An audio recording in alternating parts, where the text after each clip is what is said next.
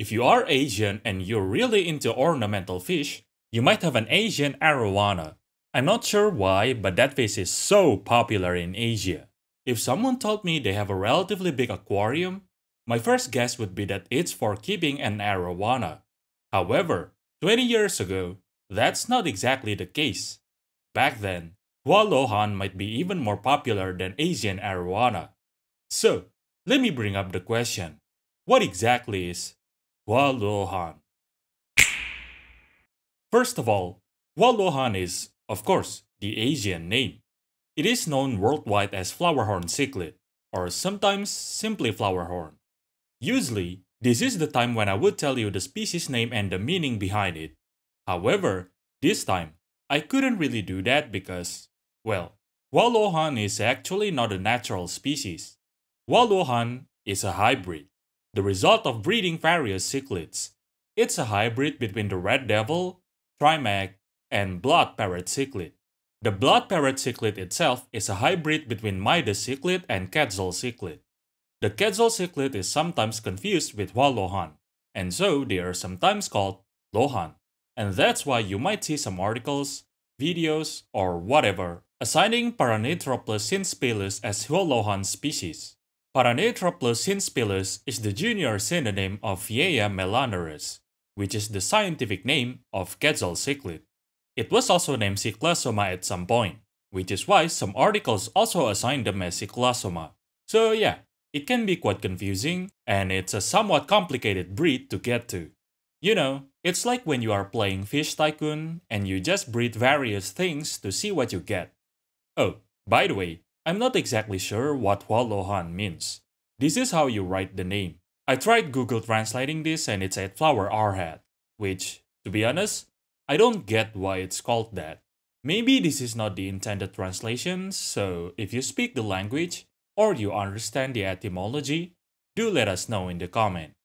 Anyway, this is also the time when I usually will talk about their distribution.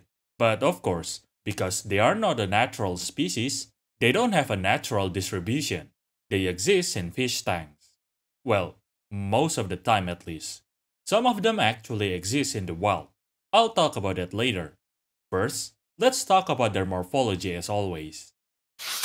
Since Hua Lohan is a cichlid, it shares the same general body form as the other cichlid, which doesn't really say much to be fair because there are more than 1000 species of cichlid.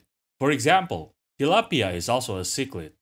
But anyway, the actual diagnostic character of cichlids that separates them from other similar fishes is the fusion of their lower pharyngeal bones into pharyngeal jaw.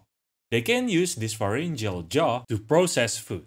It serves as a second jaw basically. Anyway, let's talk about their general look. The most prominent trait is probably the nuchal hump, also known as the kok. Nuchal humps are the characteristics of African and South American cichlids, which is why nuchal hump is not exactly unique to the Hua Lohans. However, the nuchal humps of natural species are often small, definitely smaller compared to Hua Lohan's nuchal hump at least. That's because Hua Lohans are purposely bred to have big nuchal hump. That's one of its selling point. This nuchal hump is bigger in males, which is why the general consensus is to classify them as sexual trait. Their females prefer males with bigger nuchal hump after all, and apparently humans do too. Moving on, another noticeable trait is these black marks along their sides. Actually, let me tell you a little story. So, when I was little, people told me these are Chinese characters. They told me each individual Hua Lohan actually have Chinese word on them, and that's what makes them unique and cool. And so, because I was more or less uneducated back then, I believed that, and I thought that was really cool. But no, these are not Chinese words. These are just, well, black markings. In fact, these are not unique to the Hua either. They got this trait from the Trimac cichlids. Hua also have red patches on their body.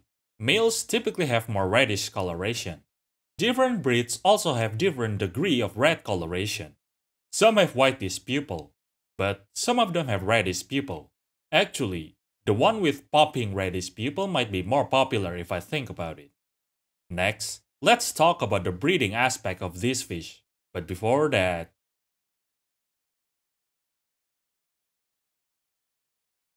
Even though Hualuohan is basically a Chinese name, their origin is not China. It's actually a Southeast Asian classic. I cannot find a scientific research article talking about this, but most, if not all articles that I've read on the internet stated they originated from Malaysia. Like I said earlier, they were, quote unquote, created from breeding Trimax cichlid, red devil, and blood parrot cichlid. In fact, Hualuohan is technically the first generation of this fish. Hualuohan were then further bred into multiple other breeds. These are all collectively called flowerhorn cichlid in the West. Hualuohan is very popular throughout Southeast Asia and East Asia back in early 2000s. It was also brought to the West, and while I don't think they garnered as much fan in the West compared to the East, but Hualuohan do have its own fans there. Demand increased, and so, breeding boomed, especially in Southeast Asia.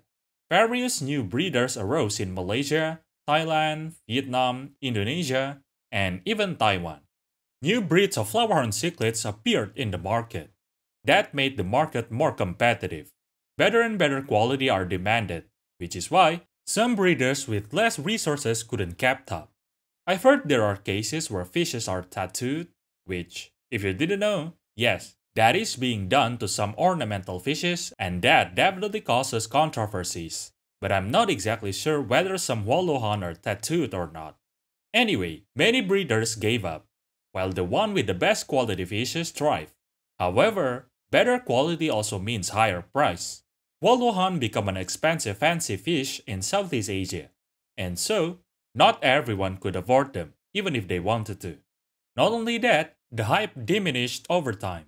But still, many Hualuohan were bred in the hype phase. If those didn't get sold, those needed to go somewhere, right? Well, that's the start of the controversy. Okay, but seriously though, let's answer the question. Where did the unsold fishes go? To the nearby lakes and rivers, of course. Yep, classic. Hualuohan became an invasive fish in some Southeast Asian countries, especially Malaysia and Indonesia. This is actually not that shocking, because a lot of cichlids have been known to be invasive in some regions. For example, the red devil cichlid had been a menace in various lakes in Indonesia. Fun fact, around Sermo Reservoir in Yogyakarta, Indonesia, red devil invasion is so bad that it had become the most abundant fish there. And so, locals made chips out of them. In fact, several years ago, when I visited the place, me and my colleagues bought a pack and ate some. Anyway, since flowerhorn cichlid is biologically quite similar to the red devil, such case could also happen, depends on where the invasion is and how susceptible the local biota is. I've heard flowerhorn cichlid has been prohibited or at least heavily regulated by the Malaysian Department of Fisheries. I think you do need to have a written approval to own them, or maybe that's just for selling them. I'm not exactly sure, so if Malaysians are watching this video, do let us know. Apparently, flower horns are also banned in Australia. Meanwhile, in Indonesia, it's quite easy to get a flower horn because you could easily buy them online. You don't even need to personally know any breeder. There are also contests here and there. I've heard that's also the case in the USA. Well, to be fair, you could even watch some US content creators showing their flower horns on YouTube right now. I didn't find any articles stating flower horns had become invasive in the US, so I hope hobbyists keep being responsible with their pets so it doesn't happen. Same goes with every pet owner in the world, whatever pet you might be keeping. And yeah, that's all for now. Oh, by the way, if you think they are cool and you want to get them, I wouldn't suggest doing so. If you really really want to, then do make sure you read everything about how to keep them and prepare everything prior. Anyway, enjoy your day.